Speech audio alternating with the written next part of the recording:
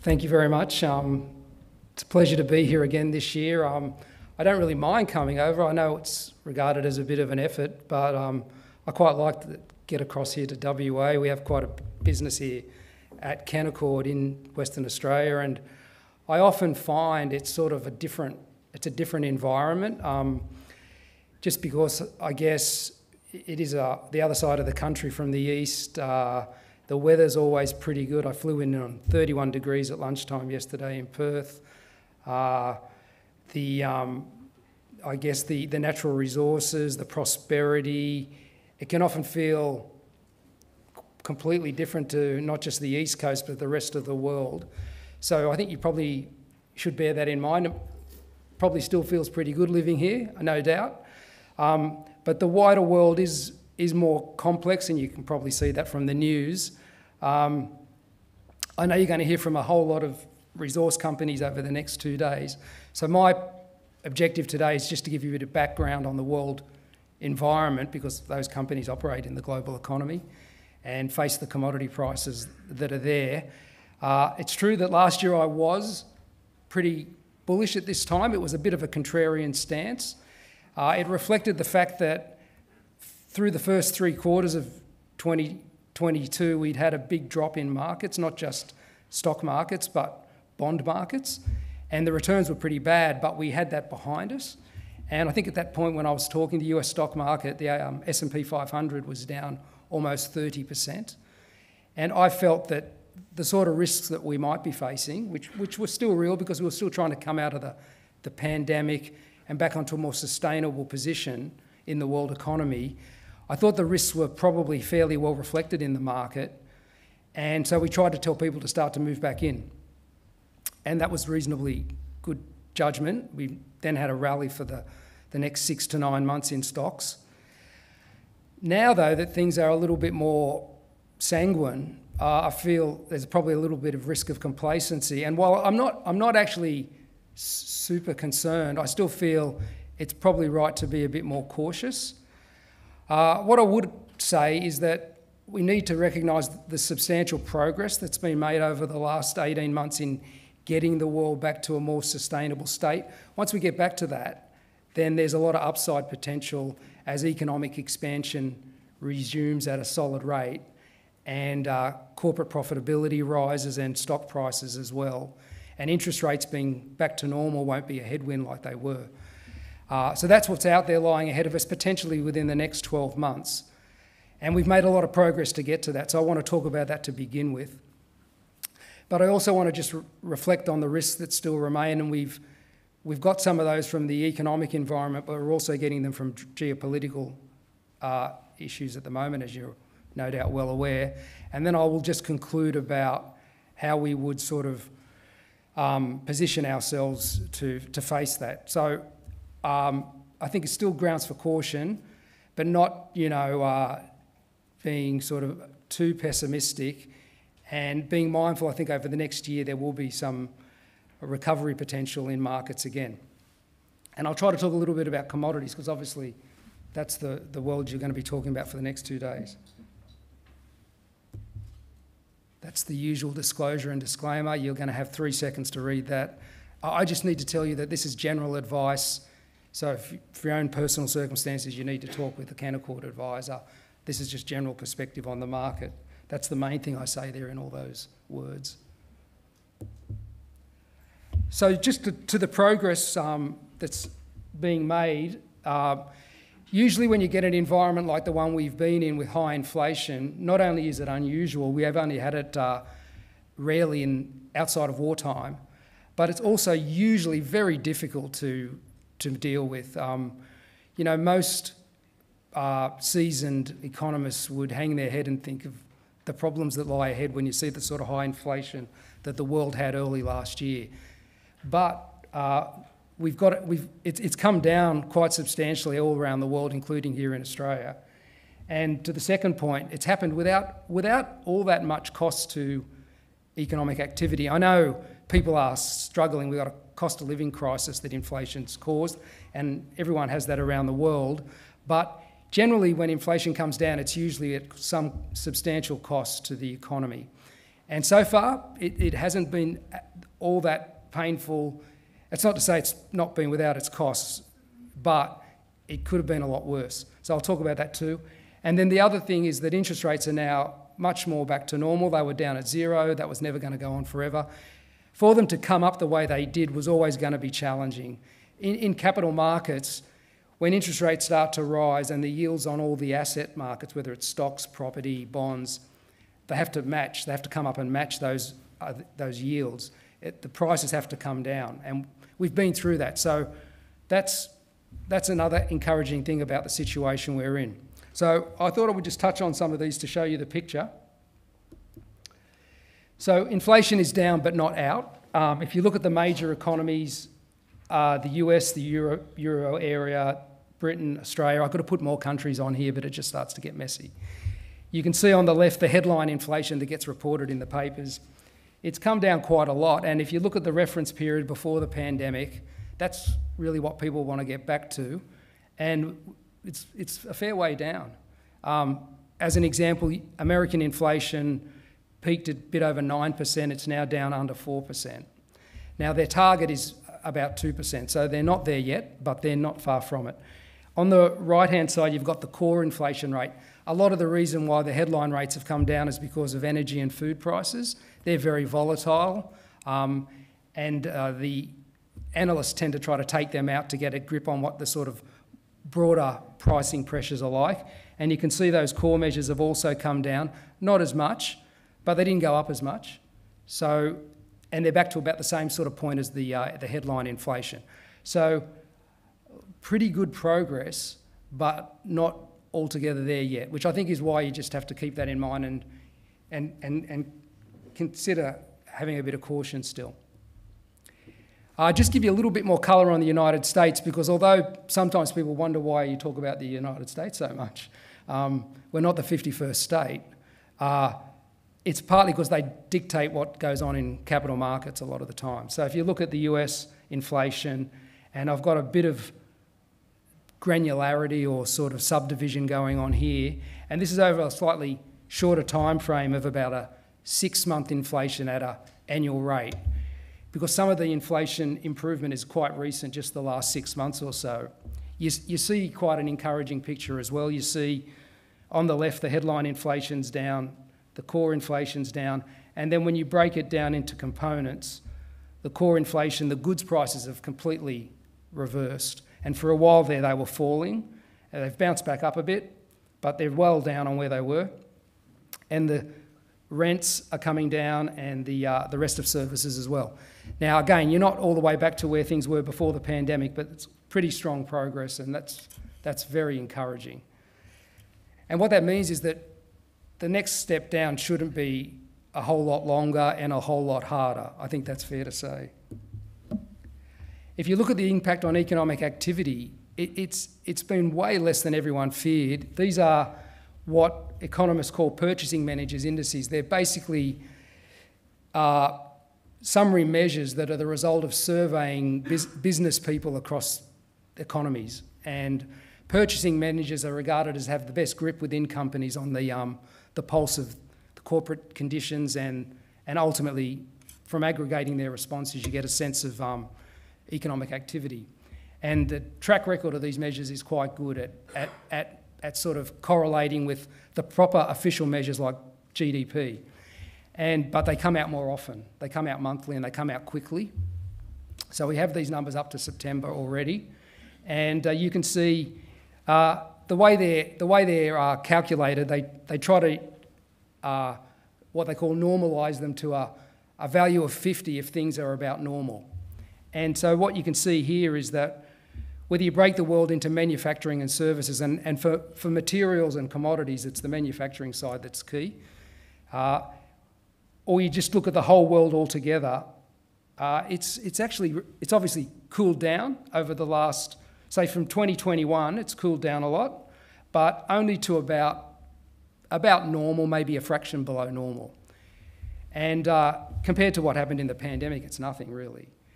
And typically getting inflation down, you tend to have to go below normal for a bit because you have to, you have to create some slack so that the pricing pressures uh, abate. So, so we can see that that's, that's very encouraging. I think. And then if we look at it by region, you also see something quite similar, which is that pretty much all the regions are not doing too badly. Europe's a bit worse than everywhere else, but Europe's got a war on its eastern border, which they haven't had since the Second World War. And as a consequence of that, they had crazy energy prices, gas prices. And yet, even with that, the, uh, the pulse of the European economy is not too bad. And the US economy is still reasonably healthy. And the other one that's often worried about is China, and obviously in the resource space, that's pretty key. And they've struggled coming out of the pandemic for a variety of reasons. But even the economy in China is not too dire, and provided they keep incrementally offering support to economic activity, it should also still be okay.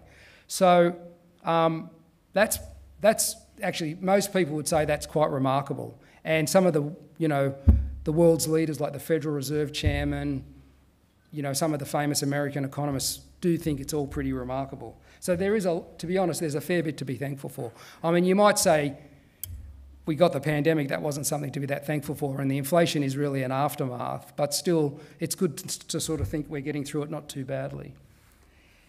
Um, for commodities, it's, it's actually been helpful as well because the thing I find is the most important ultimately for commodity prices is industrial activity.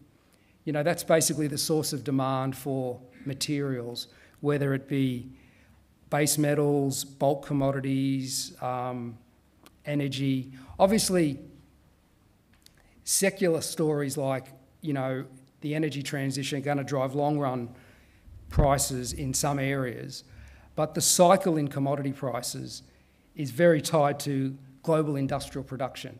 You can see for yourself, this is the record going back a few decades. And the fact that the industrial production growth, which is read here on the right hand scale, is still modestly positive, is, is helpful. It's actually a little bit below the normal trend. The trend is about 2 to 3%. And that's approximately what commodity supply grows by in the, in the sort of world, world economy. If you think of the really big pervasive commodities like copper, the supply of copper tends to grow a couple of percent a year. So if the industrial demand is growing at the same, you tend to get relatively stable prices.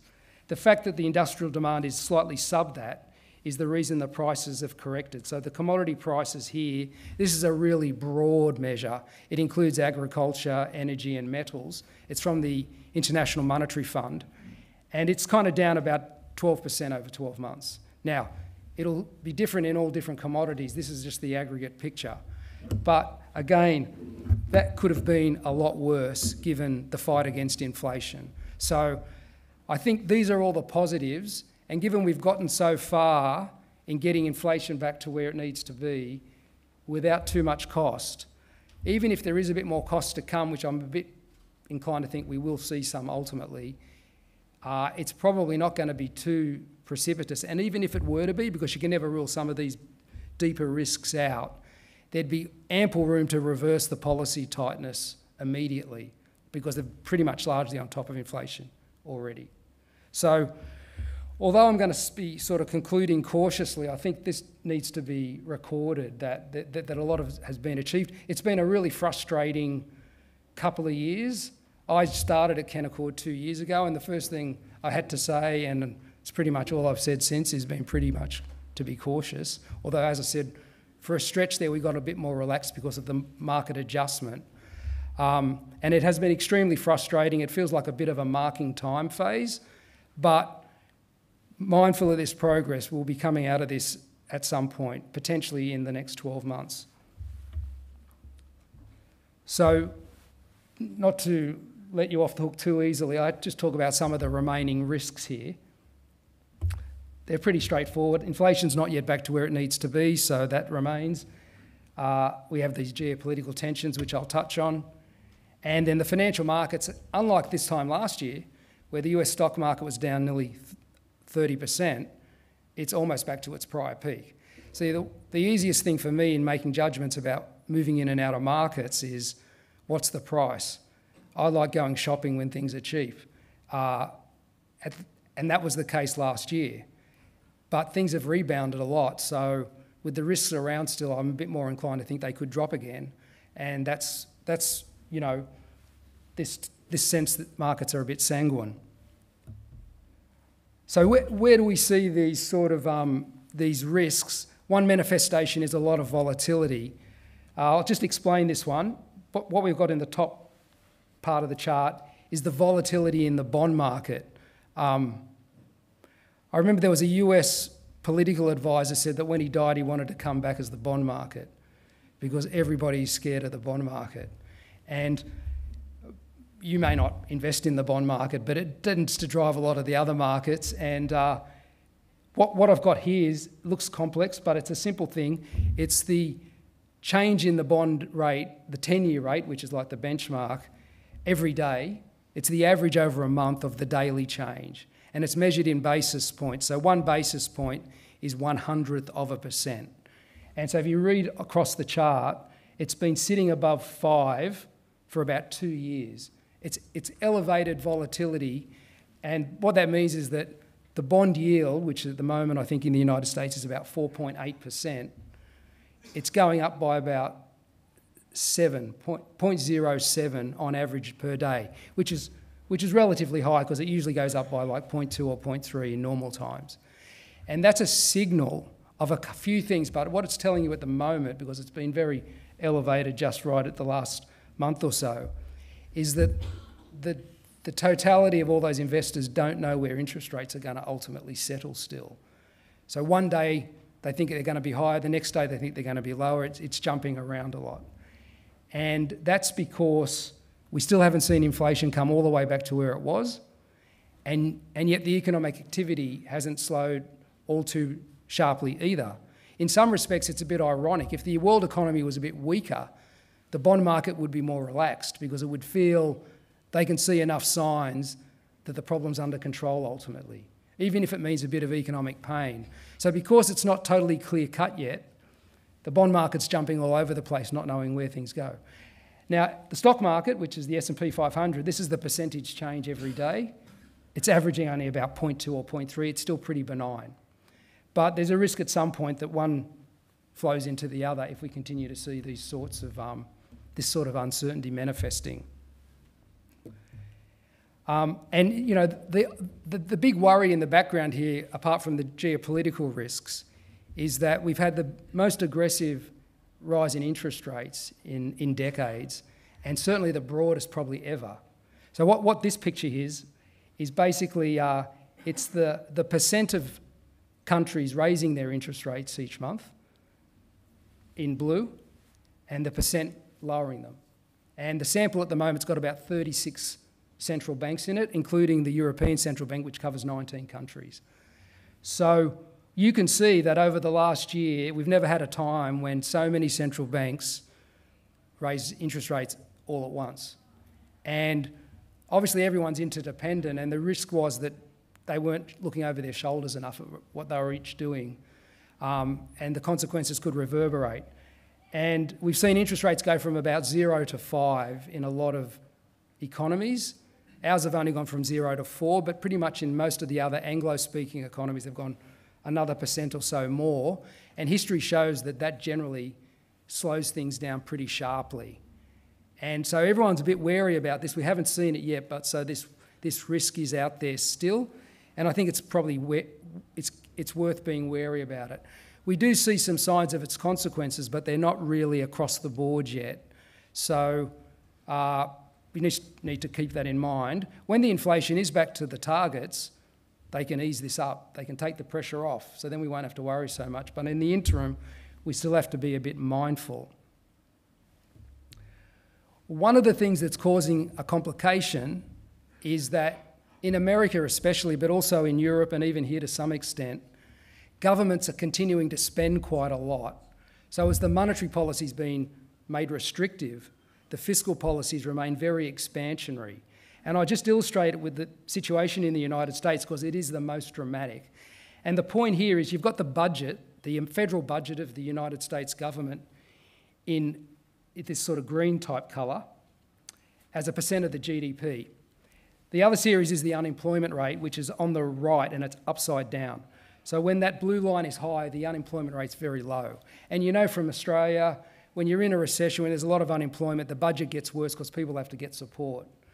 And uh, we saw that in the pandemic in, in all countries, including America, that spike in, in um, unemployment and the budget went down. Now, if you look at the history, usually when the unemployment rate is as low as it is at the moment, the American budget is fairly close to balance. In fact, in, under Bill Clinton, in the late 90s, when the unemployment rate was not far from where it is today at, at just under 4%, the American budget was in surplus, the first time in the post war, I think, or thereabouts. And likewise, back in the early and mid 60s, virtually a budget balance, very strong economy.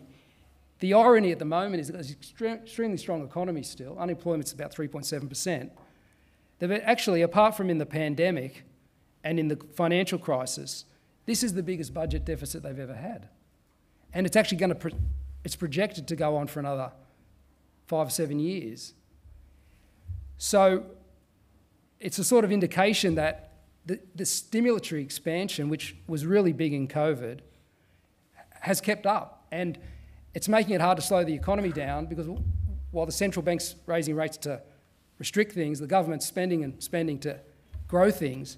And the main, the main sort of forms this is taking at the moment is underpinning the energy transition. They're vehicles, uh, the grid, you know, uh, modernising the electricity grid. Uh, they're also subsidising companies to onshore a lot of their uh, industry capacity to, to, to, remove some of the geopolitical risks. And this is driving investment and it's keeping the economy going, driving jobs. So it's kind of a little, it's a little bit uh, at odds with what they're trying to do in, in lower inflation, and it's making it hard to judge ultimately the path we're on. So some economists think we're on a we're heading for a soft landing. Some economists think there's going to be a hard landing, and other economists think there's going to be no landing. No landing where they, the plane just keeps flying, but the inflation could stay higher than they want. And that's the sort of experience they've had in the past with inflation. No one likes to get it down, and often they let it stay around because it's a bit too hard to get it all the way down. Uh, I think if we get the no landing, eventually we'll get the hard landing. But we'll, we'll have to wait and see. But I think the uncertainty there is, is grounds for just being cautious a bit longer. One minute. My God. Uh, look, I won't say a lot about the Middle East, but obviously the risk to oil prices, because there's a lot of oil producers in the Middle East, if sanctions are ramped up because the war broadens, it's not an ideal time. This is a really busy, busy picture, but the main takeaway is that higher oil prices, although they affect the headline inflation, they also affect the underlying inflation because oil is such a pervasive input. I, now, I just wanted to just lastly finish off with the sanguineness of markets. Uh, most people are still talking about a soft landing rather than a hard landing. I wouldn't take a whole lot of comfort from that because that was the case before the financial crisis in 2006 and also before the, the dot com recession, the internet recession at the start of the 2000s. So it could be a, a false hope.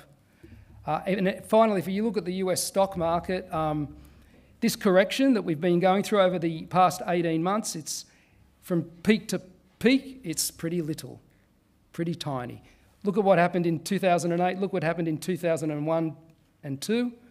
So, uh, and, the, and the corporate earnings are projected to be pretty resilient, so that you have that risk. And the other risk you have is um, even given the earnings, the market um, still has to cope with offering higher yields. The stock market has got to compete with the bond market and all the other potential yields in the market. And as the market in bond, the yields have gone up a lot, the, uh, the stock yields haven't really adjusted much yet.